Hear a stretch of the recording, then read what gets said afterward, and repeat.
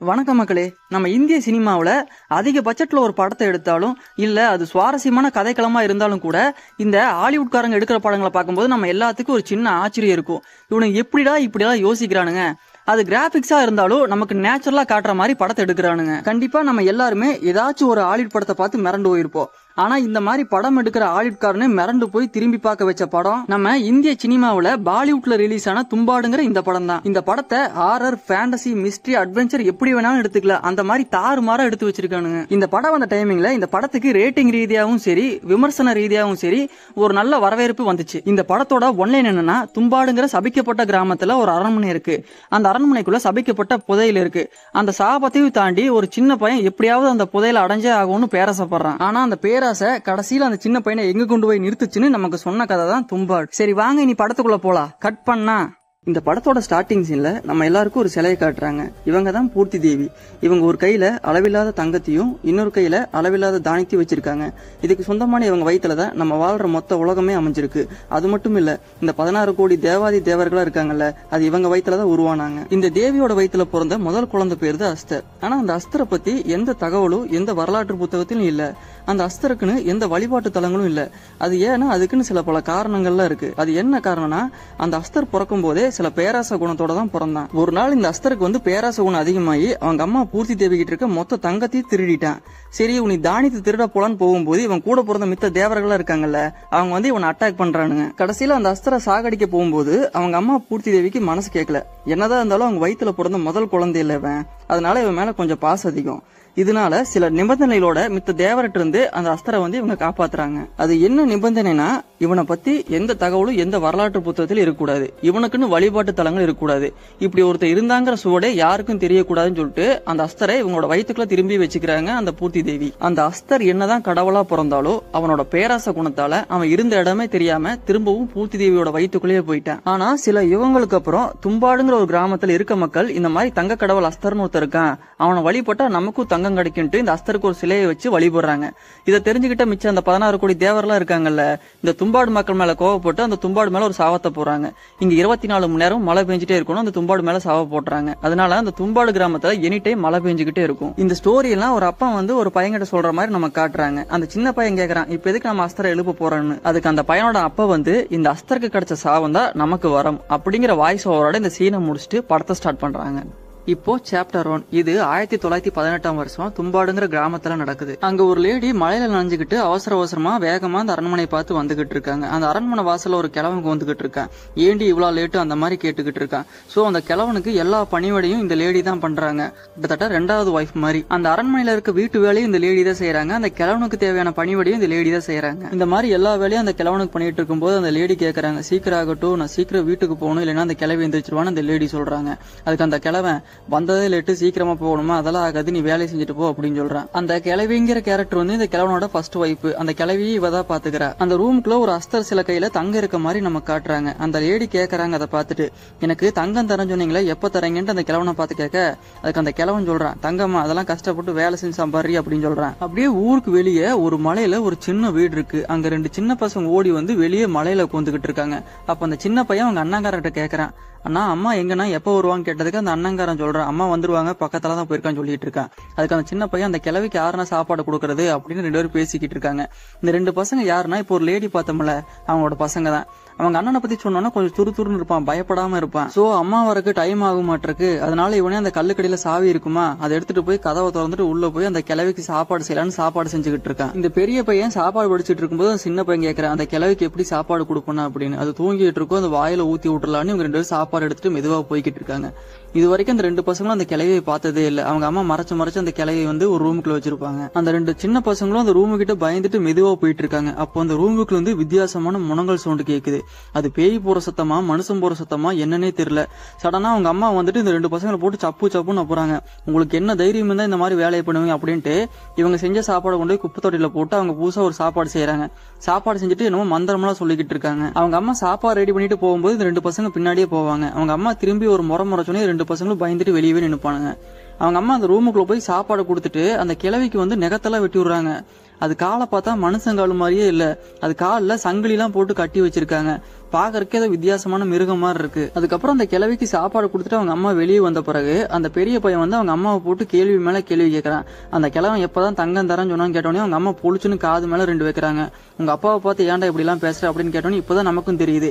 இந்த ரெண்டு பசங்களும் அந்த கிழவனுக்கு பிறந்தவங்க இல்லீகலா பிறந்திருக்காங்க. அந்த பெரிய பையன் திருப்பி திருப்பி தங்கத்தை பத்தியே கேட்டுக்கிட்டு இருக்க. அதுக்கு அவங்க அம்மா வந்து இனிமேல் தங்கமெல்லாம் கிடையாது. நம்ம வேலை செஞ்சதை சம்பாதிக்கணும் அப்படின்னு சொல்றாங்க. அதுக்கு அந்த பெரிய பையன் நாங்க எதுக்கு வேலை செய்யணும்? நாங்க ரெண்டு பேரும் இந்த ஆளுக்கு பிறந்த பசங்க தானே? இந்த ஊர்ல இருக்கவங்களாம் அந்த அரண்மனை தங்க இருக்குன்னு சொல்றாங்க. நமக்கு தங்க வேணும் நம்ம தான் போய் கேட்டு வாங்கணும்னு சொல்லிக்கிட்டு இருக்காங்க. இப்படி ரெண்டு பேர் பேசிட்டு இருக்கும்போது அந்த கிளவி இருக்க ரூம்ல இருந்து வித்தியாசமான ஒரு முனங்கல் சவுண்ட் கேட்குது இந்த பேயெல்லாம் அழுதா வித்தியாசமா ஒரு சவுண்ட் கேட்கல அந்த மாதிரி ஒரு சவுண்ட் கேட்குது எனக்கு புதையெல்லாம் வேணாம். தயவு செஞ்சு என்ன விட்டுருங்க. அப்படிங்கிற ஒரு மோசமான ஒரு அழுகுரல் கேக்குது. இந்த அம்மாக்காரியும் பயந்துட்டு கையில ஒரு கோளரை எடுத்துட்டு மெதுவாக அந்த கிளவி ரூம் முன்னாடி போய் நின்னு ஒழுங்கா தூங்கு. இல்லைன்னா அஸ்தர் வந்துடுவான் அப்படின்னு சொன்னோனையும் அந்த பேரை நான் வரைக்கும் அந்த கிளவி அழுதுகிட்டு இருந்துச்சுல இப்ப மூச்சு பேச்சு இல்லாம கம்முன்னு படுத்து தூங்கிருது அப்படியே அரண்மனையில் இருக்க அஸ்தர் சிலை தான் காட்டுறாங்க. கட் பண்ணி காலையில காமிச்சா அந்த அரண்மனையில இருந்த கிளம்ப செத்துட்டான் சோ இந்த லேடியா அவன் இல்லீகலா தானே வச்சிருந்தா? யாருக்குமே தெரியாது இல்ல சோ இவங்களுக்கு இந்த ஊர்ல எதுவுமே இல்ல அப்படின்ட்டு வீட்டுக்கு போயிட்டு பொட்டி படையெல்லாம் கட்டிட்டு நைட்டு பூனேக்கு போலான்னு அவங்க அம்மா பிளான் போட்டுட்டு இருக்காங்க. அப்ப வந்து அந்த பெரிய பையன் சொல்றான் நாம எதுக்கு ஊரை விட்டு போகணும்? அந்த கிழவன் தான் செத்துட்டான்ல உனி அந்த அரண்மனையில போய் நம்ம இருக்கலாம் அப்படின்னு அந்த பெரிய பையன் சொல்றான். அதுக்கு அவங்க அம்மா வந்து அந்த அரண்மனையில ஒண்ணுமே இல்ல பத்து பைசாக்கு தேராது நம்ம அங்க போய் இருந்தோம்னா பட்டினி கிடந்தது சாகணும் அப்படின்னு சொல்றாங்க. அதுக்கு இந்த பெரிய பையன் வந்து ஊர்ல இருக்கவங்க அந்த அரண்மனையில ஏதோ புதையல் இருக்குன்னு பேசிக்கிட்டு இருக்காங்க அப்படின்னு கேட்க அந்த ஆளு இதே மாதிரிதான் புதையில இருக்கு புதையில இருக்குன்னு தேடி தேடி கடைசியில செத்தே போயிட்டேன். அங்க ஒண்ணுமே இல்ல அப்படின்னு அவங்க அம்மா சொல்ல அதுக்கு அந்த பெரிய பையன் இல்லம்மா அந்த கிழவிக்கு என்னமோ தெரிஞ்சிருக்கு. நாம அதை எழுப்பி கேட்கலாம். கண்டிப்பா புதையில இருக்கும். நம்ம அதை எடுத்துட்டு போலான்னு அந்த பெரிய பையன் சொல்ல அதுக்கு அவங்க அம்மா கோவப்பட்டு காது மேல புளிச்சுன்னு ஒரு அப்ப போயிட்டு பேராசை பிடிச்சவனா இருக்காத சின்ன பையன் மாதிரி நடந்துக்கணும். அவங்க அம்மா பிடிச்சி கண்டபடி திட்டுறாங்க. நாளை காலையில நம்ம இங்கிருந்து கிளம்புறோம். பூனேக்கு போறோம். நீங்க போய் ஒழுக்கமா அமைதியா படுத்துங்கன்னு சொல்றாங்க. அதுக்கு அந்த பெரிய பையன் அப்ப அந்த கிளவி என்ன பண்றதுன்னு கேட்க அந்த கிளவி என்னமோ ஆயிட்டு போகுது. நம்ம முதல்ல இருந்து இங்க போகணும் அவங்க அம்மா சொல்றாங்க. அப்போ அன்னைக்கு ராத்திரி என்ன ஆகுதுன்னா அந்த ரெண்டு பசங்கள சின்ன பையன் ஒருத்தர் இருப்பான்ல அவ மரத்து மேல ஏறி விளையாண்டுகிட்டு இருந்திருக்கான். பொத்துன்னு கீழே விழுந்து மண்டையில அடி பிடிச்சிரும் சரியான அடி விழுந்துரும். அவங்க அம்மா வந்து அவனை தூக்கிட்டு வைத்தியர் வீட்டுக்கு தூக்கிட்டு போயிட்டு இருக்காங்க. அப்படி கிளம்பும் போது அவங்க அம்மா பெரிய பையன்கிட்ட என்ன சொல்றாங்கன்னா இன்னைக்கு நைட்டு நீ தான் அந்த கிளவியை பாத்துக்கணும் நீ தான் அந்த கிளவிக்கு சாப்பாடு கொடுக்கணும்னு சொல்றாங்க.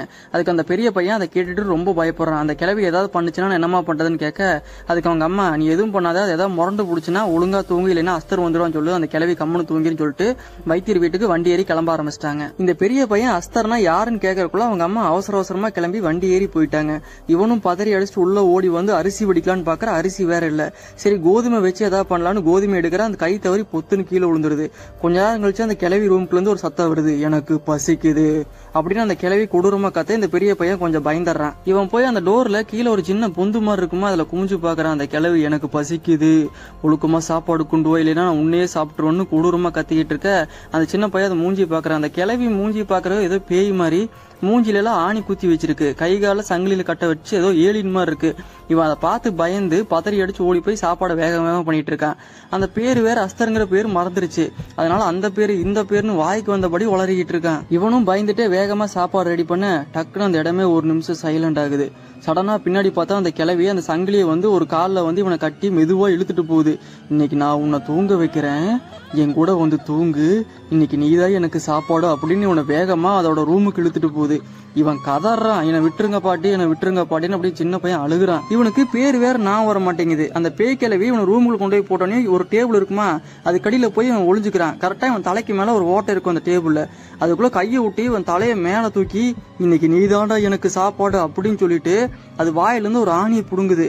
ரத்தமெல்லாம் அவன் தலை மேலே அப்படியே ஊத்துது. இவன் சடனாக அஸ்தர்னு கத்துறான். இவனுக்கு பேர் நான் வந்துருச்சு. அந்த பேரை கேட்டோடனே அந்த கிளவி பொத்துன்னு விழுந்துருது ஒழுங்கா தூங்கு பாட்டி இல்லைன்னா அஸ்தர் வந்துருவான்னு வேகமா கட்ட அந்த கிளவியும் பொத்துன்னு கீழே போட்டு தூங்கிடுது அதே சமயத்துல இவங்க அம்மா அந்த சின்ன பையனை தூக்கிட்டு ஹாஸ்பிட்டல் போவாங்களே போற வழியிலே அந்த சின்ன பையன் இறந்துடுறான். இவங்க பயங்கரமா கதை எழுதிட்டு வீட்டுக்கு வராங்க. வீட்டுக்கு வந்துட்டு அப்படியே அந்த சின்ன பையனோட பணத்தை எரிச்சிட்டு இந்த ஊரை விட்டே கிளம்பி கொண்டு கிளம்பிக்கிட்டு இருக்காங்க. அப்படியே ஊரை விட்டு போகும்போது அப்பயே அந்த பெரிய பையன் அடங்காம வாமா வீட்டுக்கு போலாம். அந்த கிழவிக்கு புதையலை பத்தி என்னமோ தெரிஞ்சிருக்கு. அதை கட்டி போட்டு சாப்பாடு போடாம நம்ம கேட்டா கண்டிப்பா சொல்லு அப்படிங்கிறான். அதை கேட்டு அவங்க அம்மா கோவம் வந்து ஏன்டா இப்படி பேரசை புடிச்சு திரியிற? உங்க அப்பனை மாதிரியே இருக்காத.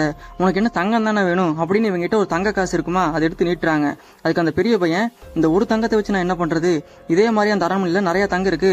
வாங்க அதை போய் அடையலாம் அப்படிங்கிறான். அதுக்கு அவங்க அம்மாவுக்கு செமையா கோவம் வந்துச்சு.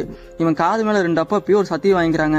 இனிமேல் தும்பாடு ஊர் பக்கமே நான் வரமாட்டேன் அப்படின்னு ஒரு சத்தியத்தை வாங்கிக்கிறாங்க அவங்க அம்மா. இந்த தும்பாடுங்கிறது சபிக்கப்பட்ட கிராமம். எக்காரணத்தை கொண்டு இந்த தும்பாடு கிராமத்துக்கு நீ திருப்பி வரவே கூடாது அப்படின்னு அவங்க அம்மா அந்த சின்ன பையன்கிட்ட சத்தியம் வாங்கிக்கிறாங்க.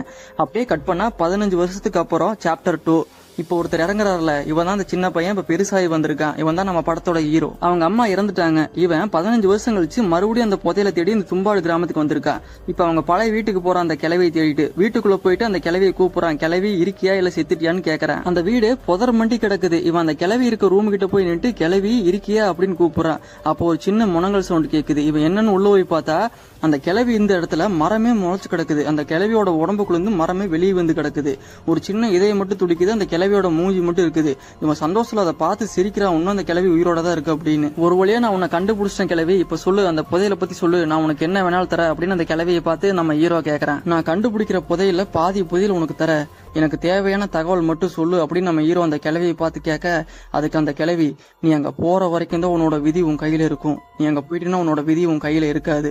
எதுவாக இருந்தாலும் யோசிச்சு பண்ணு அப்படின்னு நம்ம ஹீரோவை பார்த்து அந்த கிளவி சொல்லுது. அதுக்கு நம்ம ஹீரோ அதெல்லாம் நான் பார்த்துக்கிறேன். நான் உனக்கு என்ன வேணாலும் பண்ணுறேன் உனக்கு என்ன வேணும்? அப்படின்னு நம்ம ஹீரோ கேட்க அதுக்கு அந்த கிளவி எனக்கு எதுவும் வேணாம். இந்த சாபமான வாழ்க்கையிலிருந்து நீ தான் எனக்கு விமோச்சனம் தரணும். என்னை எரிச்சிரு அப்படின்னு அந்த கிழவி சொல்லுது. சரி இந்த டீலும் நல்லா இருக்குன்ட்டு நம்ம ஹீரோவோ அந்த அரண்மனையை பார்த்து உள்ள பார்த்து போய்கிட்டு இருக்கான். அந்த பேய் கிளவி இந்த அரண்மனையை பத்தி ஏதோ தகவல் சொல்லியிருக்கும் போல. நம்ம ஹீரோவும் கிட்டத்தட்ட ஆறு மாசமா அந்த அரண்மனையை சல்லடை போட்டு தேடுறான் இண்டு இடுக்கு எல்லா பள்ளத்துக்குள்ளேயும் போய் தோண்டி தோண்டி பாக்குறான் ஒரு வழியா ரொம்ப மாசம் கழிச்சு ஒரு சின்ன பெட்டி மாதிரி இருக்கு. அந்த பூர்த்தி தேவி உருவம் போட்ட மாதிரி ஒரு பெட்டி இருக்கு. அதை பார்த்தவனையும் கதறி அழுகுறான். அதை கட்டி புடிச்சிட்டு அழுகுறான். ஒரு வழியா அவன் கண்டுபிடிச்சிட்டான். அப்படியே நம்ம ஹீரோ அந்த பழைய வீட்டுக்கு போயிட்டு மறுபடியும் அந்த கிளவியை பார்த்து கேட்கறான் என்ன கிளவி நல்லா யோசிச்சிட்டியா? சாக போறியா? அப்படின்னு கேட்டதுக்கு அந்த கிளவி ஆமா இந்த சாபமான வாழ்க்கை எனக்கு வேணாம் தயவு செஞ்சு நீ எரிச்சிருன்னு சொல்ல. நம்ம ஹீரோ மண்ணெண்ணெய் வச்சிருப்பான். அந்த மண்ணெண்ணெய் அப்படியே அந்த கிளவி மேல ஊத்தி விட்டு அப்படியே கொளுத்தி விட்டுறான்.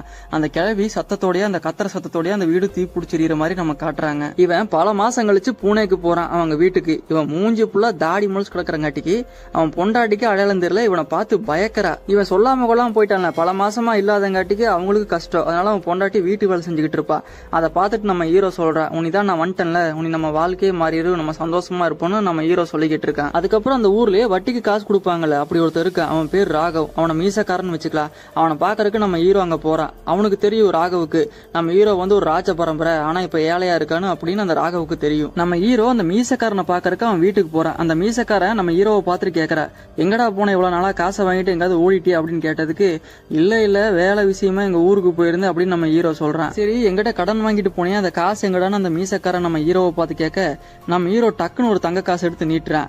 நான் உங்ககிட்ட முப்பத்தெட்டு ரூபா வாங்கினேன். இந்த தங்க காசு நூறுரூவா போகும். முப்பத்தெட்டு ரூபா கழிச்சு மிச்ச காசு என்கிட்ட கொடு அப்படின்னு கேட்டோன்னே அந்த மீசக்காரனுக்கு மூஞ்சியே இல்லை. நம்ம ஹீரோ மறுபடியும் மூணு தங்க காசு எடுத்து நீட்டுறான்.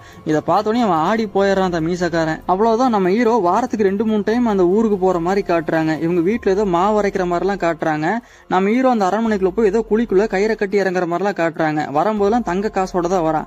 ஆனால் ஒவ்வொரு டைம் அளவு மாறுது. சில டைம் ரெண்டு தங்க காசோட வரான். சில டைம் நாலு தங்க காசோட வரான். சில டைம்லாம் பதினாறு தங்க காசோட வரான். இந்த மாதிரி கொண்டு வர தங்க காசெல்லாம் அந்த மீசக்காரன்ட்ட வித்து வித்தே நம்ம ஹீரோ பெரிய பணக்காரன் ஆயிடுறான். கிட்டத்தட்ட ராஜா கணக்கில் ஆயிடுறான். ஒரு கட்டத்துக்கு மேல அந்த மீசக்காரன்கிட்டே கொடுக்கறதுக்கு காசு இல்ல. அதுக்கு நம்ம ஹீரோ சரி காசு இல்லாட்டி பரவாயில்ல இந்த தங்க காசை வச்சுக்கோ நான் கேட்கும் போது காசு கொடு அப்படின்னு அந்த தங்க காசெல்லாம் அந்த மீசக்கார்ட்ட கொடுக்குறேன். அந்த மீசக்காரன் ஆடி போயிடுறான். அந்த காலகட்டத்தில் பிரிட்டிஷ் தானே நம்மளை ஆண்டுகிட்டு இருந்தாங்க. அதுல இருந்து ஒரு வெள்ளக்காரன் வந்து நம்ம மீசக்காரங்கிட்ட பேசுறான். யார் இவன்? அடிக்கடி உன் வீட்டுக்கு வந்துட்டு போயிட்டு இருக்கான். பார்க்கவே பணக்கார மாதிரி இருக்கு அப்படின்னு நம்ம மீசக்காரர்கிட்ட கேட்க அதுக்கு நம்ம மீசக்காரன் ஆமா சார் அவன் ராஜ பரம்பரை அப்படின்னு நம்ம மீசக்காரன் சொல்லிக்கிட்டு இருக்கான். இப்போ எதுக்கு இந்த வெள்ளக்காரன் வந்து இந்த மீசக்காரன்ட்ட பேசுறானா இந்த வெள்ளக்காரங்கிட்ட ஓபிஎம் கான்டாக்ட் ஒன்று இருக்கும். அதை வந்து அந்த மீசக்காரன் கேட்டிருப்பான் எனக்கு அந்த கான்டாக்டை கொடுங்க அப்படின்னு. அந்த கான்டாக்ட் கிடைச்சா அந்த ஏரியாக்குள்ள ஒன்று கொஞ்சம் பெரிய ஆளா மாறிடலாம். அதனால அந்த மீசக்காரன் வந்து அந்த கான்டாக்டை கேட்டிருப்பான். இப்போ அந்த வெள்ளக்காரன்ட்ட அந்த கான்டாக்ட் கிடைச்சிருக்கும் அதனால வந்து இவன்ட்ட கேட்கறான் வாங்கிக்கிறே அப்படின்னு. ஆனா அது கொடுத்து வாங்குறதுக்கு தான் நம்ம மீசக்காரன்ட்ட இப்ப காசு இல்ல. எல்லா காசையும் ஈரோட்ட கொடுத்துட்டான்ல. அதனால அவன் என்ன பண்றதுன்னு தெரியாம திரு திரு முடிச்சுக்கிட்டு இருக்கான் நம்ம மீசக்காரன். அதனால இந்த மீசக்காரன் என்ன பிளான் போடுறான்னா பண்றான்னா நம்ம ஈரோட குடும்பத்தோட கொஞ்சம் ஃப்ரெண்டாக ஆகிக்கலான்ட்டு நம்ம ஈரோட குடும்பத்துக்கு gift எல்லாம் வாங்கி கொண்டு போய் கொடுக்குறேன். ஏதாவது விசேஷம்னா ஏதாவது வாங்கிட்டு போய் கொடுக்குறது அந்த மாதிரி இருக்கேன். அதுக்கப்புறம் நம்ம ஹீரோட்ட கேட்குறேன் நீங்கள் என்ன பிஸ்னஸ் பண்ணுறீங்க சொன்னீங்கன்னா நானும் அதில் பார்ட்னராக சேர்ந்துப்பேன். இப்போ வர அமௌண்ட்டை விட அதில் டபுளாக வரும்ல அப்படின்னு நம்ம ஹீரோவை பார்த்து கேட்க அதுக்கு நம்ம ஹீரோ பார்ட்னர்ஷிப்லாம் வேணாம். உனக்கு காசு வேணும் டேரெக்டாக கேளு. இப்படி சுற்றி வளைச்சலாம் எங்கிட்ட கேட்டுக்கிட்டு இருக்காத. அப்படின்னு அந்த மீசக்கார மூஞ்சில் அடிச்ச மாதிரி நம்ம ஹீரோ சொல்லிடுறேன். நம்ம ஹீரோ இருக்க இருக்க பெரிய பணக்காரனா மாறிக்கிட்டு இருக்கான். பைக் எல்லாம் வாங்கிட்டான். இப்போ அந்த ஊருக்கு மூணு டைம் நாலு டைம் போயிட்டு வந்துட்டுருக்கான். சின்ன குடிசை வீடா இருக்குமா அது இடிச்சுட்டு பெரிய மாளிகையே கட்டிட்டான். இப்போ அவனுக்கு ஒரு பையன் வேற பிறந்துட்டான். அதே சமயத்தில் இந்த மீசக்காரனை வந்து அந்த வெள்ளக்காரன் போர்ஸ் பண்ணிட்டே இருக்கான். ஒழுக்கமா அந்த கான்ட்ராக்ட் வாங்கிக்கிறே இல்லையா? இல்லைனா வேற யாராருக்கும் அந்த கான்ட்ராக்டை கொடுத்துரு அப்படின்னு அந்த வெள்ளக்காரன் மிரட்டிட்டு போறான். அப்போ இந்த மீசக்காரன் மறுபடியும் ஒரு பிளான் போடுறான். ஒரு ஊர்ல இருந்து ஒரு அழகான பொண்ணை கூப்பிட்டு வரான். இந்த பொண்ணு யாருன்னா இந்த புருஷன் இறந்து போயிட்டா உடன்கட்டை ஏத்துவாங்கல்ல. அந்த மாதிரி இந்த பொண்ணை ஏத்த போகும்போது இவன் நமக்கு யூஸ் ஆவா அப்படின்னு இந்த பொண்ணை காசு கொடுத்து வாங்கிட்டு வந்துருவான். அதுக்கப்புறம் இந்த பொண்ணை நம்ம ஹீரோட்ட கொண்டு போய் இந்த மீசக்காரன் காட்டுறான். இந்த பொண்ணு கொஞ்சம் அழகா இருக்குங்காட்டிக்கு நம்ம ஹீரோ விழுந்துடுறான். சரி வீட்டு வேலைக்கெல்லாம் யூஸ் ஆவா அப்படின்னு இங்கே இருக்க சொல்லிடுறான். ஆனா அந்த பொண்ணு இங்க இருக்கிறது நம்ம ஹீரோவோட பொண்டாட்டிக்கு சுத்தமா பிடிக்கல. அப்படியே கொஞ்ச நேரம் கழிச்சு அந்த பொண்ணு மேல இருந்து சிக்னல் கொடுக்குது. நம்ம ஹீரோவை பத்தி சொல்லவே தேவையில்லை. அவன் ராஜா பரம்பரை கொஞ்சம் லேடிஸ் வீக்னஸ்லாம் இருக்கும். இவனும் மெதுவா அந்த மாடி மேல ஏறி போயிட்டு ஒரு ஐம்பது ரூபா கொடுக்குறான் அந்த பொண்ணை உசார் பண்றதுக்கு. அந்த பொண்ணு ஆல்ரெடி காசு வச்சிருக்கும். நம்ம ஹீரோ அதை பார்த்து கேட்கறான் உங்ககிட்ட எப்படி இவ்வளவு காசு இருக்குன்னு? இல்ல அந்த மீசக்காரர் காசு கொடுத்தாரு. உங்களை ஒரு ரெண்டு நாளைக்கு எங்கேயும் போகாத அளவுக்கு உங்களை அப்படியே பத்திரமா பாத்துக்க சொன்னாரு. உங்களை பாசமா பாத்துக்க சொன்னாருன்னு சொன்னோடனே நம்ம ஹீரோ கொஞ்சம் டவுட் வந்துருச்சு. இவன் எதுக்கு இந்த பொண்ணு காசு கொடுக்கணும்? நம்மளை எதுக்கு பாத்துக்க சொல்லணும் அப்படின்னு நம்ம ஹீரோக்கு டவுட் வந்துச்சு. அப்படியே கட் பண்ண அந்த மீசக்காரன் நம்மளோட ஹீரோவோட தும்பாடு கிராமம் இருக்குல்ல அங்க போய் நிக்கிறேன். இந்த மீசக்காரன் எப்படியோ ஒரு நாள் நம்ம ஹீரோவை ஃபாலோ பண்ணிட்டு வந்து இந்த அரண்மனையை கண்டுபிடிச்சிட்டான். அதனால தான் பிளான் போட்டு நம்ம ஹீரோ ஒரு ரெண்டு நாளைக்கு இந்த பக்கம் வரக்கூடாதுன்னு அந்த பொண்ணை கொண்டு வந்து வேணும்னே அங்கே விட்டுருக்கான். அதனால இப்போ வந்து இந்த அரண்மனையை ஃபுல்லா தேடி பார்க்குறேன். நம்ம ஹீரோ இந்த அரண்மனையிலேருந்து தானே தங்கத்தை எட்டு வரான். அதனால இந்த மீசக்காரன் அந்த அரண்மனை ஃபுல்லா சல்லடா போட்டு தேடுறான். மூளை முடுக்கெல்லாம் தேடுறான் தங்கம் எங்கே இருக்குன்னு. ஆனால் நம்ம ஹீரோக்கு தான் இப்போ இந்த மீசக்காரனை பத்தி தெரிஞ்சிருச்சுல. அதனால நம்ம ஹீரோவும் கிளம்பி அரண்மனைக்கு வந்துட்டு இந்த மீசக்காரனை ஏதாவது ஒரு டிராப்ல மாட்ட வைக்கணும்னு அந்த மீசக்காரனுக்கு கண்ணுக்கு படுற மாதிரி ஒரு இடத்துல கூந்து ஒரு கோதுமையில ஒரு பொம்மை செஞ்சு அதை ஒரு டிப்பன் பாஸ்க்குள்ள வச்சு ஒரு கிணத்துக்குள்ள கயிறு கட்டி இறங்கிட்டு இருக்கான் இதெல்லாம் தூரமா நின்று இந்த மீசக்காரன் ஒளிஞ்சு பாக்குறான் நம்ம ஹீரோக்கு எதுவும் தெரியாதுன்னு நினைச்சிட்டு அவன் ஒளிஞ்சு பாத்துக்கிட்டு இருக்கான் நம்ம ஹீரோவும் எப்பயும் போல அந்த குழிக்குள்ள இறங்கிட்டு கொஞ்ச நேரம் கழிச்சு மேல வந்து அந்த மீசக்காரனுக்கு கண்ணில் படுற மாதிரியே அவன் கையில தங்க காசை வச்சு ஆட்டி காட்டுறான் அது அந்த மீசக்காரன் கண்ணில் பார்த்துட்டு ஓ இதுக்குள்ள இறங்கி தான் போய் அந்த தங்க காசை எட்டு வரான்னு நம்ம ஹீரோ போன பிறகு கொஞ்ச நேரம் கழிச்சு அந்த மீசக்காரனும் அந்த கயிறை புடிச்சு அந்த குழிக்குள்ள போய் இறங்குறான். இந்த மீசக்காரன் அந்த கயிறை புடிச்சிட்டு உள்ள இறங்கி போய் பாக்குறான் அது ஏதோ பாதாள சுரங்கமாட்ட போயிட்டு இருக்கு அங்க போய் பார்த்தா அந்த பூர்த்தி தேவி அந்த சிலை போட்ட மாதிரி ஒரு பெட்டி இருக்கு. அதை திறந்துட்டு மறுபடியும் அதுக்குள்ள போற. அது இன்னும் ரொம்ப தூரம் உள்ள போகுது கீழே அடிமட்டத்துக்கு போகுது. அங்க போய் பார்த்தோன்னே உனக்கு ஒரு பெரிய அதிர்ச்சி. அந்த இடத்த பார்த்தா ரத்தமும் சதையும் கலந்த மாதிரி இருக்கு. கிட்டத்தட்ட சொல்ல போனா ஒரு மனுஷனோட வயிறு மாதிரி இருக்கு அந்த இடத்த பாக்குறக்கு அந்த இடமே ரத்தமும் சதையும் யாரோ மூச்சு விடுற மாதிரிலாம் சவுண்ட் கேக்குது. இவன் டக்குன்னு அந்த விளக்க புடிச்சு கீழே பார்த்தா அந்த நம்ம ஹீரோ ஒரு டிஃபன் பாக்ஸ் முதல்ல கொண்டு வருவான்ல அது கீழே கிடக்கு. அது என்னன்னு போய் உள்ள திறந்து பார்த்தா அந்த கோதுமையில செஞ்ச அந்த பொம்மை மாவு இருக்கு. டக்குன்னு சடனாக பின்னாடி ஏதோ சவுண்ட் கேட்குது இவன் மெதுவாக திரும்பி பார்க்குறான். ஏதோ வித்தியாசமான ஒரு அமானுஷ்யமான உருவம் வந்து இவன் அப்படியே அடிச்சு தர தரன்னு இழுத்துட்டு போகுது. அதுக்கப்புறம் நம்ம ஹீரோ கொஞ்ச நேரம் கழிச்சு உள்ள வந்து ஒரு அரிசி மாவு எடுத்து அவனை சுத்தி அவனே ஒரு வட்டம் போட்டுக்கிறான். அதுக்கப்புறம் விளக்கு எடுத்து சுத்தி பாக்குறான் செவுத்துல சதையோட சதைய அந்த மீசக்காரன் வந்து அந்த செவுத்தோட செவுரா ஒட்டி கிடக்குறான். அவன் நம்ம ஹீரோவை பார்த்துட்டு என்னை காப்பாத்து என்னை காப்பாத்துன்னு அழுகுறான். அதுக்கு நம்ம ஹீரோ ஒழுங்கா தூங்குறாகவும் இல்லைன்னா அஸ்தர் வந்துடும் அப்படின்னு சொன்னோடனே அந்த மீசக்காரன் தூங்கிடுறான். அப்புறம் அந்த வட்டத்துக்குள்ள இருக்க நம்ம ஹீரோ அவன் கொண்டு வந்த அந்த டிஃபன் பாக்ஸை மறுபடியும் திறந்து அதுக்குள்ள இருந்து மறுபடியும் ஒரு அரிசி பொம்மையை வெளியே எடுக்கிறான் அந்த பொம்மையை எடுத்த அடுத்த செகண்ட் ரத்தமும் சதையும் கலந்த மாதிரி ஒரு கொடூரமான மிருகம் வெளியே வருது. அதை பார்க்கவே கொடூரமா இருக்கு.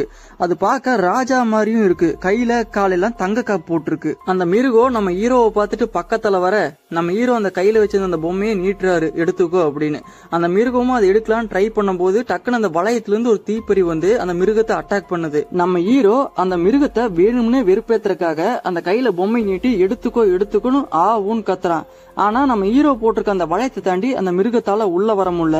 ஏதோ தீப்பொறி மாதிரி வந்து அந்த மிருகத்தை அட்டாக் பண்ண அதுல கோவப்பட்ட அந்த மிருகம் செவுத்துக்கு செவுத்துக்கு தாவி குதிக்குது. அந்த செவுத்தோட செவுர அந்த மீசக்காரன் ஒட்டி இருப்பான்ல அவன்கிட்ட போய் அவன் கையை அப்படியே பிச்சு திங்குது. இதை பார்த்துட்டு நம்ம ஹீரோ அஸ்தர்ன்ட்டு வேகமா கத்திட்டு அந்த பொம்மையை ஒரு ஓரமா தூக்கி வீசுறான். அந்த பொம்மையை பார்த்துட்டு அந்த மிருகம் பல யுகமா சாப்பிடாத மாதிரி பட்டினி கிடந்த மாதிரி அந்த பொம்மையை ரசிச்சு ருசிச்சு சாப்பிடுது. அந்த பொம்மையை சாப்பிடும்போது இதுக்கு ஏதோ போதை பொருள் மாதிரி இருக்கு.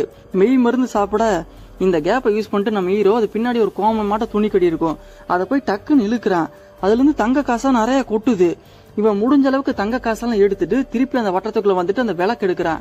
அந்த மீசக்காரனை பார்த்துட்டு அந்த விளக்க அவன் மேல தூக்கி போட்டு கொளுத்தி விட்டு நம்ம ஹீரோ அந்த கயிறை பிடிச்சிட்டு வேகமா மேலே ஏறான் இந்த மிருகமும் அதை தின்னு போட்டு நம்ம ஹீரோவை பாலை போட்டு கடிக்கலான்னு மேகமாக மேலே வர நம்ம ஹீரோ அதுக்குள்ள மேலே போயிட்டு அந்த பொட்டியை வந்து மூடிட்டு அது மேலே ஏறி உட்காந்துக்கிறான் ஸோ இவ்வளோ நாளா நம்ம ஹீரோ இப்படிதான் தங்கத்தை எடுத்துட்டு வந்துட்டு இருக்கா அந்த அஸ்தரை வந்து இப்படி ஏமாத்தி ஏமாத்தி அப்படியே கொஞ்ச நாள் ஓடுது. ஹீரோவோட வீட்டில் நிறைய பிரச்சனை. ஏன்னா இவன் இந்த வேலைக்கார பொண்ணை வச்சிருக்கான்ல அதனால அவ பொண்டாட்டி நிறைய சண்டை போடுறா. அதனால அந்த வேலைக்காரியை கூட்டு போயிட்டு தனியா ஒரு வீடே கட்டி கொடுத்துறான் அந்த வேலைக்காரிக்கு. இப்போ நம்ம இந்தியாவுக்கு சுதந்திரம் வந்த வருஷம். ஆல்ரெடி நம்ம ஹீரோக்கு வயசு ஆயிருச்சு. காலில் அடிபட்டிருக்கும். அதனால பழைய மாதிரி கயிறு பிடிச்சி ஏற முடியல கீழே வலிக்கிட்டு வலிக்கிட்டு விழுந்துடுறான். வீட்லயும் நிறைய பிரச்சனை. காசு நிறைய சேர சேர மது மாது சூது எல்லா கெட்ட பழக்கத்தையும் பழகிடுறான். எந்நேரம் பார்த்தாலும் சரக்கு அடிச்சுட்டு போதையிலே தான் தெரிஞ்சுக்கிட்டு இருக்கான் நம்ம ஹீரோ. அப்படியே கட் பண்ணி நம்ம ஹீரோட பையனை தான் காட்டுறாங்க. அவனும் அந்த கயிறை பிடிச்சி கீழே இறங்கி வேகமா ஓடி போய் அந்த அஸ்தருக்கு பின்னாடி கோமம் கட்டி இருக்கும்ல இழுத்த தங்க வரும்ல எவ்வளவு குறிப்பிட்ட நேரத்துக்குள்ள எவ்வளவு அதிகமா தங்க எடுக்கிறாங்கிறத ஒரு விளையாட்டு மாதிரி அந்த பையனுக்கு நம்ம ஹீரோ சொல்லி கொடுத்துருப்பான். இந்த சின்ன பையனும் தினமும் திருப்பி திருப்பி அதை பிராக்டிஸ் மாதிரி பண்ணிக்கிட்டே இருக்கா. இப்ப ஹீரோவை காட்டுறாங்க. ஹீரோ அந்த வேலைக்காரியோட வேலைக்காரி வீட்டுல இருக்கான். அந்த வேலைக்காரி எப்போ பார்த்தாலும் நம்ம ஹீரோட்ட தங்க வேணும் தங்க வேணும்னு கேட்டே இருக்கா. அந்த வேலைக்காரிக்கே இப்போ தெரிஞ்சிச்சு நம்ம ஹீரோக்கு வயசாயிடுச்சு அதனால தங்கத்தை எட்டு வர முடியலன்னு. அதனால அந்த வேலைக்காரி ஹீரோ கிட்ட ஒன்று கேட்குறா இப்போதான் உங்க பையன் ரெடி ஆயிட்டான்ல அவனை உங்க கூட கூப்பிட்டு போலாம்ல அப்படின்னு கேட்க அதுக்கு நம்ம ஹீரோ அவன் எதுக்கும் சரிபட்டு வர மாட்டான் அவன் நொண்டி அவன் எங்க நான் போய் கூப்பிட்டு போறது அப்படின்னு சொல்லிக்கிட்டு இருக்கான். அதுக்கப்புறம் நம்ம ஹீரோவோட ஃபேமிலி நைட்டு ஒன்னா வந்து சாப்பிட்டுக்கிட்டு இருக்காங்க. அப்போ அந்த சின்ன பையன் அவங்க அப்பா கிட்ட லைட்டா பேச்சு கொடுக்குறா. அப்பா இப்ப நான் முதல்ல மாதிரி இல்ல. இப்ப வேகமா கயிறு ஏறி பழகிட்டேன்.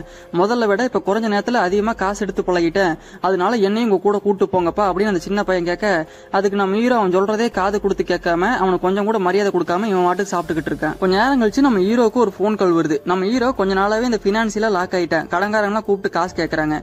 நம்ம ஹீரோ கொஞ்ச நேரம் யோசிச்சு பாட்டு அதுக்கப்புறம் அவன் பொண்டாட்டிக்காரிட்ட போய் சொல்றான் நம்ம பையனை நான் நாளைக்கு காலையில நான் கூப்பிட்டு போறேன். அவன்கிட்ட போய் சொல்லுன்னு சொல்றா. அவ பொண்டாட்டியும் போய் அந்த பையன்கிட்ட சொல்ல அந்த சின்ன பையன் குசி ஆயிடுறா அதுக்கப்புறம் காலையில இருந்துச்சு ஆராத்தி எல்லாம் எடுத்து அந்த பையனை அவங்க அப்பன் கூட தாட்டி விடுறா. அப்புறம் நம்ம ஹீரோவும் ஹீரோவோட பையனும் கார் எடுத்துட்டு தும்பாடு கிராமத்துக்கு போயிட்டு இருக்காங்க. ஸ்டார்டிங் சீன்ல ஒருத்தன் வந்து ஒரு கதை சொல்லிட்டு இருப்பான்ல அந்த பூர்த்தி தேவியை பத்தி. அது இந்த சீன் தான். இந்த நம்ம ஹீரோ தான் அவன் பையன்கிட்ட வந்து இந்த ஸ்டோரியை சொல்லிக்கிட்டு இருக்கான். அந்த சின்ன பையன் கேக்குறான் இப்ப எதுக்குப்பா நம்ம அஸ்தரை எழுப்ப போறோன்னு? அதுக்கு நம்ம ஹீரோ அஸ்தருக்கு கிடைச்ச சாபம் தான் நமக்கு வரும். அந்த பூர்த்தி தேவி வயிற்றுக்குள்ள போனோமே அதுக்கான காரணம் உனக்கு புரியும் நம்ம ஹீரோ சொல்றான். சரிப்பா ஒருவேளை அந்த அஸ்தர் நம்மளை கடிச்சிட்டா நமக்கு என்ன ஆகும்னு அந்த சின்ன பையன் கேட்க அதுக்கு நம்ம ஹீரோ என்ன ஆகும் அந்த கிளவி மாதிரி அந்த ராகவ மாதிரி நம்மளும் சபிக்கப்பட்டுருவோம் அப்படின்னு நம்ம ஹீரோ சொல்றான். சோ அஸ்தர் வந்து கடிச்சு வச்சதுனாலதான் ஸ்டார்டிங் சீன்ல வர அந்த பேய் கிளவியும் இந்த மீசக்காரனும் சபிக்கப்பட்டு ஒரு மாதிரி ஜாம்பி மாதிரி மாறி இருக்காங்க அதுக்கப்புறம் கொஞ்ச நேரம் கழிச்சு நம்ம ஹீரோவும் ஹீரோவோட பையனும் அந்த அரண்மனைக்கு வந்துடுறாங்க. நம்ம ஹீரோ இங்க வந்து ரெகுலரா என்ன பண்ணுவானோ அதே மாதிரி அந்த சின்ன பையனுக்கு ட்ரைனிங் கொடுக்குறான். அந்த கோதுமை மாவை வச்சு எப்படி பொம்மை செய்யணும்னு சொல்லி கொடுத்துட்டு இருக்கான். அந்த சின்ன பையனும் அந்த பொம்மையை செய்யறான். பொம்மையை செஞ்சுட்டு அவங்க அப்பங்கிட்ட காட்ட அவன் அந்த பொம்மை வாங்கி தூக்கி வீசிடுறான். இன்னைக்கு உனக்கு முதல் நாள். அதனால உனக்கு நான் ட்ரைனிங் தான் கொடுக்குறேன். அப்படின்னு சொல்லிட்டு அதே மாதிரி கயிறை கட்டி உள்ள இறக்கி கூட்டிட்டு போறான் அந்த சின்ன பையனை. அந்த சின்ன பையனும் அந்த உள்ள இறங்கி அந்த வயிற்றுக்குள்ள போறான். இவங்க ரெண்டு பேருமே இறங்கி அந்த பூத்தி தேவியோட வயிற்றுக்குள்ள வந்துட்டாங்க. அதுக்கப்புறம் நம்ம ஹீரோ எப்பயும் போல அந்த அரிசி மாவு எடுத்து அவங்கள சுத்தி ஒரு வட்டத்தை போட்டுக்கிறான். அந்த சின்ன பையன் கேக்குறான் எதுக்குப்பா இப்படி வட்டம் போடுறீங்க? அப்படின்னு. அதுக்கு நம்ம ஹீரோ ஒரு விஷயத்த நல்லா புரிஞ்சுக்கோ. அஸ்தரால அவங்க அம்மா பூர்த்தி தேவிட்டு இருந்து வெறும் தங்கத்தை மட்டும்தான் எடுக்க முடிஞ்சுச்சு. தானியத்தை எடுக்க முடியல. அதனால தானியங்கிறது அவனோட வீக்னஸ் அந்த தானியத்துக்காக அவன் என்ன வேணாலும் பண்ணுவான் அப்படின்னு நம்ம ஹீரோ அவன் பையன்கிட்ட சொல்லிட்டு இருக்க அந்த பையன் வந்து கொஞ்சம் லைட்டா பயக்கிறான். அந்த சின்ன பையன் பயந்துட்டே கேக்குறான் அப்பா அஸ்தர் எப்பப்பா வருவான்? அப்படின்னு. அதுக்கு நம்ம ஹீரோ அதெல்லாம் நினைச்சு நீ பயக்காத. அந்த அரிசி மாவு பொம்மையை பார்த்தா மட்டும்தான் அஸ்தர் வருவான். சோ உனக்கு இன்னைக்கு முதல் நாள் பயிற்சி மட்டும்தான். அதனாலதான் பொம்மையை நான் வெளியவே தூக்கி போட்டேன். இன்னைக்கு நீ பயிற்சி மட்டும் எடுத்துக்கோ அப்படின்னு நம்ம ஹீரோ சொல்ல டக்குன்னு அந்த சின்ன பையனோட மூஞ்சியே மாறுது. ஐயோ அப்பா நான் தெரியாம அந்த பொம்மையை எட்டு வந்துட்டப்பா அப்படின்னு அவன் சட்டைக்குள்ள அந்த பொம்மையை வெளியே எடுத்து நீட்டுறான். அது எடுத்து வெளியே நீட்டின அடுத்த செகண்டே அஸ்தர் வெளியே வரான். இதை பார்த்தோன்னே நம்ம ஹீரோக்கு தூக்கி வாரி போட்டுருச்சு. அந்த அஸ்தர் நம்ம சின்ன பையனை வேகமா கடிக்க வர நம்ம ஹீரோவும் குடுகுடுன்னு உள்ள ஓடி போய் அவன் பையன் கையில இருந்த அந்த பொம்மையை தூக்கி வெளியே வீசிடுறான். அந்த பொம்மையை பார்த்துட்டு அஸ்தர் போய் அதை எடுத்து தின்னுகிட்டு இருக்கு. நம்ம பையனை கூப்பிடுறான் சீக்கிரம் வாடா கயிறை பிடிச்சி மேலே ஏறா அப்படின்னு. நம்ம பையனும் நம்ம ஹீரோ மாதிரியே இருக்கான். அவனு போய் அந்த கோமணத்திலிருந்து அந்த காசு கீழே விழுகுமா? அதை பொறுக்கி தூக்கிட்டு ரெண்டு பேருமே வேகமா கயிறு மேல ஏறுறாங்க. அந்த அஸ்தரும் பின்னாடி துரத்துது. இவங்க அதுக்குள்ள மேல போய் ஏறி அந்த கதவை சாத்திட்டு மேல உட்காந்துக்கிறாங்க மேல போனோனையுமே நம்ம ஹீரோ அந்த சின்ன பையனை போட்டு பொல பொலன்னு புழக்கிறான் எதுக்குடா இப்படி பண்ண? அப்படின்ட்டு அந்த சின்ன பையனை போட்டு அடி அடின்னு அடிக்கிறான். ஆனா இருந்தாலும் நம்ம ஹீரோக்கு கொஞ்சம் சந்தோஷம். நம்ம பையனும் நம்மள மாதிரியே தங்க காசு எடுத்து பழகிட்டான் அப்படின்னு கொஞ்சம் சந்தோஷப்படுறான். அதுக்கப்புறம் ரெண்டு பேரும் கார் எடுத்துட்டு பூனைக்கு கிளம்பிட்டாங்க. போயிட்டு இருக்கும்போது நம்ம ஹீரோ தங்க காசை கொடுக்குறான். இதாண்ட அவனோட முதல் சம்பளம். பத்திரமா வச்சுக்கணும். ஒரு தங்க காசு அந்த சின்ன பையன் கொடுக்க. அதுக்கு அந்த சின்ன பையன் இதை வச்சு நான் என்ன வேணாலும் பண்ணலாமாப்பா? செலவு பண்ணிட்டுமான்னு கேட்க அடி உழுவும் படவா நான் கேட்கும் போது காசை கொடு அப்படின்னு நம்ம ஹீரோ சொல்றான். அதுக்கப்புறம் அந்த சின்ன பையன் தங்க காசை கொண்டு போய் எங்க அம்மாட்ட காட்டு சந்தோஷப்படுறான். அவங்க அம்மா கேட்கறாங்க என்னடா ரகசியம்? அப்படின்னு. அதுக்கு அந்த சின்ன பையன் சொல்ல மாட்டேங்கிறா. நம்ம ஹீரோவும் அந்த காசு எடுத்துட்டு போய் அதை வேலை காட்ட சின்ன வீட்டுட்ட காட்டுறான். என் பையன் தங்க எடுத்துட்டான் அப்படின்னு சந்தோஷப்பட்டுக்கிட்டு இருக்கா அப்படி. இந்த டைம்ல அங்க இருக்க ராஜாக்கள்லாம் ஒரு சின்ன மீட்டிங் போடுறாங்க. அவங்க என்ன பேசிட்டு இருக்காங்கன்னா அந்த வருஷம் தானே இந்தியாவுக்கு சுதந்திரம் வந்த வருஷம். அதனால கவர்மெண்ட் வந்து சில சின்ன கிராமங்களை வந்து கண்ட்ரோல் எடுத்துக்கிச்சு. அதுல தும்பாடு கிராமமும் இருக்கு. அதை கேட்டோன்னே நம்ம ஹீரோ செம்மையா டென்ஷன் ஆகிறா. அப்போ அங்க இருக்க. என்னோட அரண்மனை என்ன ஆகுதுன்னு கேட்டோனையும் அதெல்லாம் எங்களுக்கு தெரியாது. கவர்மெண்ட் அந்த அரண்மனையும் சேர்த்து கண்ட்ரோல் எடுத்துக்கிச்சு அப்படின்னு சொன்னோன்னே நம்ம ஹீரோக்கு மூஞ்சியே மாறுது. கவர்மெண்ட் கண்ட்ரோல் எடுத்துட்டு அந்த அரண்மனைக்கு போக முடியாதுல்ல? அதுக்கப்புறம் தங்கமும் எட்டு வர முடியாது. இதனால இவன் என்ன பண்றது தெரியாம யோசிச்சுக்கிட்டு திரு திருன்னு முடிச்சுக்கிட்டு இருக்கான். ஆனா இந்த சைடு நம்ம ஹீரோவோட பையன் சில்வன்ட்டு என்ன பண்ணிட்டு இருக்கானா அவங்க கிட்ட தங்க காசை கொண்டு போயிட்டு நம்ம ஹீரோவோட அந்த செட்டப் இருக்கல வேலைக்காரி அவகிட்ட காட்டிட்டு இருக்கா. எங்க அப்பனுக்கு வயசாயிருச்சு. இனி அவனால பாத்துக்க முடியாது. நீ எதுக்கும் கவலைப்படாத. நான் உன்னை பாத்துக்கிறேன் அப்படின்னு அந்த வேலைக்காரிட்ட அந்த காசை கொடுத்து உஷார் பண்ணிட்டு இருக்கான் நம்ம ஹீரோவோட அந்த குட்டி பையன். இது தெரியாத நம்ம ஹீரோ இவன் தான் நம்மளோட அடுத்த வாரிசு. இவன் தான் நம்மளை காப்பாற்ற போறான்னு அவன் மறைச்சு வச்சிருந்த தங்க காசுல அந்த சின்ன பையன்கிட்ட காமிச்சிட்டு இருக்கான் நம்ம ஹீரோ. அந்த சின்ன பையன் அந்த தங்கத்தை பார்த்துட்டு இவ்வளவுதான் இருக்குல்லப்பா உன் எதுக்கு நம்ம அங்க போகணும்? அப்படின்னு கேட்டதுக்கு நம்ம ஹீரோ நீ எங்க அம்மா மாதிரியே இருக்கடா. இருக்கிறத வச்சு பொழைச்சிக்கணும் அப்படின்னு நினைக்கிற? அதெல்லாம் பத்தாதுடா அப்படின்னு சொல்லிட்டு இருக்கான் நம்ம ஹீரோ. அப்படியே அவன் மப்புல மட்டையப்படுத்துறான். அடுத்த நாள் காலையில நம்ம ஹீரோ அந்த வேலைக்காய் கூட எடுக்கும்போது அந்த தங்க காசை பாத்துறான். இந்த சின்ன பையன் கொடுத்த தங்க காசை பாத்துறான். அதனால அந்த சின்ன பையனை வந்து நம்ம ஹீரோ போட்டு பொல பொலன்னு புழக்கிறான். ஏன்டா இந்த வயசுலயே உனக்கு பொம்பளை சோக்கு கேக்குதாடா அப்படின்னு அந்த சின்ன பையனை போட்டு அடி அடி நினைக்கிறேன். அப்போ அந்த சின்ன பையன் வந்து இவ்வளவு நாளா நீங்க வேஸ்ட் பண்ணிட்டீங்கப்பா. எங்கிட்ட ஒரு நல்ல ஐடியா இருக்கு அப்படின்னு அந்த சின்ன பையன் ஒரு ஐடியா சொல்றான். அந்த சின்ன பையன் என்ன சொல்றான்னா தங்க காசை எடுத்துட்டு வரக்கு பதிலா அந்த அஸ்தரோட கோமணத்தையே உருவிட்டு வந்துடலாம் அப்படிங்கிறான் அதுக்கு நம்ம ஹீரோ மண்டையிலே ஒரு தட்டு தட்டிட்டு அந்த கோமணத்தை உருவிட்டு வந்தாலும் ஒரு பிரயோஜனம் இல்லை. அதில் ஒரு பத்து பதினஞ்சு காசு தான் இருக்கும் அப்படின்னு நம்ம ஹீரோ சொல்றான். அதுக்கு அந்த சின்ன பையன் அப்போ நிறைய பொம்மை செஞ்சு எடுத்துட்டு போகலாம் அந்த மாவு பொம்மையை. ஒன்னு சாப்பிடும்போது இன்னொன்னு தூக்கி போடலாம். நமக்கு நிறைய டைம் கிடைக்கும். அந்த கேப்பில் நிறைய காசு எடுக்கலாம்னு சொன்னோன்னே நம்ம ஹீரோக்கு கொஞ்சம் ஸ்ட்ரைக் ஆகுது. அவன் அவ்வளோ சாப்பிடுவானா அப்படின்னு நம்ம ஹீரோ கேட்டதுக்கு நீங்க தானே சொன்னீங்க? அஸ்தர் பல யுகமாக சாப்பிடாம இருக்கான். அதெல்லாம் சாப்பிடுவான். இதை ட்ரை பண்ணி பார்க்கலாம்னு அந்த சின்ன பையன் சொல்கிறான் நம்ம ஹீரோக்கும் வேற வழி இல்ல. அந்த இடமும் கைவிட்டு போக போகுது. அதனால அவனும் கொஞ்சம் யோசிச்சு கொஞ்சம் சந்தோஷப்படுறான். பரவாயில்ல பையன் நல்ல ஐடியா கொடுத்துருக்கான்னு.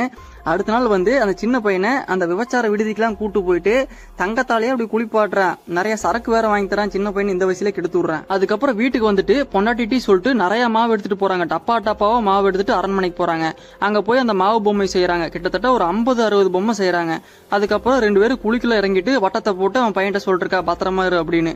அப்புறம் நம்ம ஹீரோ என்ன பண்றான்னா ஒரு ரெண்டு பொம்மையை எடுக்கிறான் கையில. அந்த பொம்மையை வெளியே எடுத்து அடுத்த செகண்ட் அஸ்தரும் மெதுவா வெளியே வருது. ஆனா இப்பதான் படத்துல வேற லெவல் ட்விஸ்ட் கொய்யால ஒரு அஸ்தர் வரல. ரெண்டு அஸ்தரா பிரிஞ்சு வருது. நம்ம ஹீரோ கையில ரெண்டு பொம்மை இருக்குதுல்ல. அதனால அஸ்தர் ரெண்டா வருது. இத பார்த்துட்டு நம்ம ஹீரோ சாக்காயிட்டு பொம்மையை வெளியே எடுக்காதரான்னு சொல்றக்குள்ள அந்த பையன் எல்லா பொம்மையும் கீழே போடுறான் அவ்வளவுதான். இப்ப கிட்டத்தட்ட ஐம்பது அறுபது அஸ்தர் அங்க வந்துருது. இப்போ நம்ம ஹீரோக்கு அடுத்து என்ன பண்றதுன்னே தெரியாம குழம்பி போய் நிக்கிறான். ஏன்னா ஒரு அஸ்தரையே சமாளிக்க முடியாது. இவங்க மேலே ஏறி தப்பிக்கிறதுக்குள்ள ஒன்னே அவ்வளவு வேகமா துரத்திட்டு வரும் இப்ப ஐம்பது அறுபது அஸ்தர் இருக்காங்க. அதனால இவனுக்கு என்ன பண்றதுன்னு தெரியாம பயந்துட்டு அந்த வட்டத்துக்குள்ள மாட்டி நிக்கிறாங்க ரெண்டு பேரும். இப்ப நம்ம ஹீரோ என்ன பண்ணுறான்னா மொத்த பொம்மையும் தூக்கி வெளியே போடுறான். ஒவ்வொரு அஸ்தரும் அப்படியே அடிச்சுக்கிட்டு சண்டை போட்டுக்கிட்டு இருக்குங்க. அதுல ஒரு அஸ்தர் வந்து தாவி வந்து அந்த வளையத்து மேல குதிக்க அது டப்புன்னு வெடிச்சு அந்த வளையம் போட்டு வெடிச்சு அப்படியே சாம்பலா மாறுது. ஹீரோவும் ஹீரோட பையனும் கணக்கா அந்த வட்டத்துக்குள்ள மாட்டிட்டாங்க. கொஞ்ச நேரம் கழிச்சு நம்ம ஹீரோ யோசிக்கிறான் இப்படி பேராசப்பட்டு வந்து நம்ம மாட்டிட்டோமே அப்படின்னு யோசிச்சுட்டு கொஞ்ச நேரம் வெயிட் பண்ணி பாக்குறான் அதுக்கப்புறம் ஒரு முடிவு எடுக்கிறான். அவன் எந்திரிச்சு மிச்ச கீழே கிடக்கிற பொம்மையெல்லாம் எடுத்து அவன் உடம்புல கட்டிக்கிறான். அவன் என்ன பிளான் போறான்னா நம்ம தப்பி காட்டியும் பரவாயில்ல நம்ம பையன் உயிர் பொழைக்கணும் அப்படின்னு அந்த பொம்மையெல்லாம் கட்டிட்டு மேலே ஏறுறான். இவன் மேலே ஏறப்போற அந்த அஸ்தர்லாம் வந்து கடிக்கும்ல அப்போ மித்த அஸ்தர்லாம் வந்து பொத்து பொத்துன்னு அந்த வளையத்து மேலே விழுகும்போது அது வெடிச்சு சிதறிடும் நம்ம பையனும் தப்பிச்சிருவோம் அப்படின்னு அவன் மேலே ஏற கீழே தான் சின்ன பையன் அழுகிறா. வேணாப்பா வேணாப்பான்னு கத்துறான். ஆனால் நம்ம ஹீரோ அதை கேட்காம அவன் வாட்டுக்கு மேலே ஏறிக்கிட்டே இருக்கா. ஒவ்வொரு அஸ்தரா வந்து நம்ம ஹீரோவை போட்டு கடிச்சிட்டு அதுக்குள்ள அந்த கீழே விழுந்து விழுந்து எல்லாம் செத்து போகுதுங்க. அப்படியே அந்த இடமும் கொஞ்ச நேரம் கழிச்சு அமைதியாகுது. அந்த சின்ன பையனும் அந்த சாம்பல் குள்ள இருந்து எந்திரிக்கிறான். மெதுவாக கயிறை பிடிச்சி மேலே போகிறான் இவங்க உள்ள இறங்குறதுக்கு முன்னாடியே அந்த பெட்டியை சுற்றி அந்த வளையம் போட்டிருப்பாங்க. வர வழியிலயும் அந்த அரிசி மாவு வச்சு அந்த வளையம் போட்டிருப்பாங்க. சப்போஸ் அஸ்தர் வெளியே வந்தால் தப்பிக்க முடியாதுல செத்து போயிரும்ல அதனால வளையம் போட்டு வந்திருப்பாங்க. எல்லா அஸ்தரும் செத்து போயிரும். இவனும் அந்த குழியை விட்டு மேல வந்து பாக்குறான் இந்த சின்ன பையனும் அழுதுட்டே கிணத்தை விட்டு வெளியே வர கொஞ்சம் தூரத்துல நம்ம ஹீரோ கீழே கிடக்குறான். இவனும் பயந்துட்டு பக்கத்துல போக நம்ம ஹீரோவை பாக்குறதுக்கு கொடூரமா இருக்கு. ஃபர்ஸ்ட் சீன்ல அந்த கிளவி இருக்கும்ல கடிச்சதுனால சபிக்கப்பட்டு ஒரு மாதிரி ஜாம்பி மாதிரி மாறி இருக்கும்ல. அதே மாதிரி நம்ம ஹீரோவும் கடிச்சதுனால ஜாம்பியா மாறிட்டான். இந்த பையன் அதை பார்த்துட்டு அழுகுறான். அப்பா இப்படி ஆயிடுச்சேப்பா நீங்களும் சபிக்கப்பட்டீங்களே அப்படின்னு அவங்க அப்பனை பார்த்து அழுக. நம்ம ஹீரோ கையில் அந்த கோமணத்தை வச்சிருக்கான். இதுக்கு தானே ஆசைப்பட்ட பக்கத்தில் வந்து வாங்கிக்கோ வாங்கிக்கோ அப்படின்னு கூப்பிட அந்த சின்ன பையன் அதை பார்த்து கதறி அழுகுறான். அப்பா தூங்குங்கப்பா. இல்லைன்னா அஸ்தர் வந்துருவான்னு அழுதுட்டே சொல்ல நம்ம ஹீரோவும் அப்படியே படுத்து தூங்கிடுறான். அதுக்கப்புறம் அவன் கையில இருக்க விளக்கு எடுத்து அவங்க அப்பா வெறிச்சிட்டு அப்படியே அழுதுட்டே அரண்மனை விட்டு வெளியே வரான். இப்ப அவனுக்கு அந்த பேராசை அந்த சின்ன பையனுக்கு. இதுக்கப்புறம் இந்த அரண்மனைக்கு எவனுமே வரக்கூடாதுன்ட்டு அந்த அரண்மனையோட கதவை சாத்துறாங்க. இதோட படத்தை முடிச்சு படத்தோட டைட்டில் போடுறாங்க. அவ்வளவுதான் மக்களே படம் முடிஞ்சு. படம் பார்க்க நல்லா இருந்துச்சுங்களா? இந்த படத்துல என்ன கருத்து சொல்ல வராங்கன்னா ஆசைக்கும் பேராசைக்கும் நடுவால் ஒரு சின்ன கூடு தான் இருக்குது ஒரு எக்ஸாம்பிளுக்கு நம்ம இப்போ ஒரு பொருள் மேலே ஆசைப்படுறோம்னு வச்சுக்கோங்க. அது எப்படியாவது அடையணும்னு கஷ்டப்பட்டு வேலை செஞ்சு அந்த பொருள் அடைஞ்சோம்னா அந்த பொருள் நமக்கு கிடைக்கும். அது கடைசி வரைக்கும் நம்ம கூடவும் இருக்கும். அதுவே பேராசைப்பட்டு அந்த பொருளை குறுக்கு வலையில நம்ம அடையணும்னு நினச்சோம்னா வச்சுங்க அந்த பொருளே நம்மளை கொண்டு போய் ஒரு பெரிய ஆபத்தில் மாட்டி விட்டுரும். அதனால நம்ம எந்த விஷயத்திலையும் எந்த பொருள் மேலேயும் பேராசைப்படக்கூடாது. நம்ம கிட்ட இருக்கிறத வச்சு நம்ம வாழ பழகிட்டா நம்மளும் நல்லா இருப்போம் நம்மளை சுற்றி இருக்கவங்களும் நல்லா இருப்பாங்க. அவ்வளோதான் மக்களே. நான் கதை சொன்ன விதம் பிடிச்சிருந்துச்சுன்னா நம்ம சேனலை சப்ஸ்கிரைப் பண்ணிக்கங்க. நான் ஏதாச்சும் தப்பாக சொல்லியிருந்தா கமெண்ட் பண்ணுங்க. நான் அடுத்த படத்தில் திருத்திக்கிறேன். நன்றி மக்களே.